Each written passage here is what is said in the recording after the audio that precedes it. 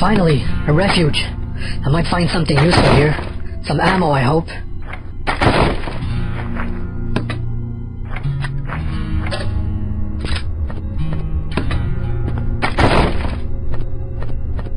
It's already been five years since Kate is dead.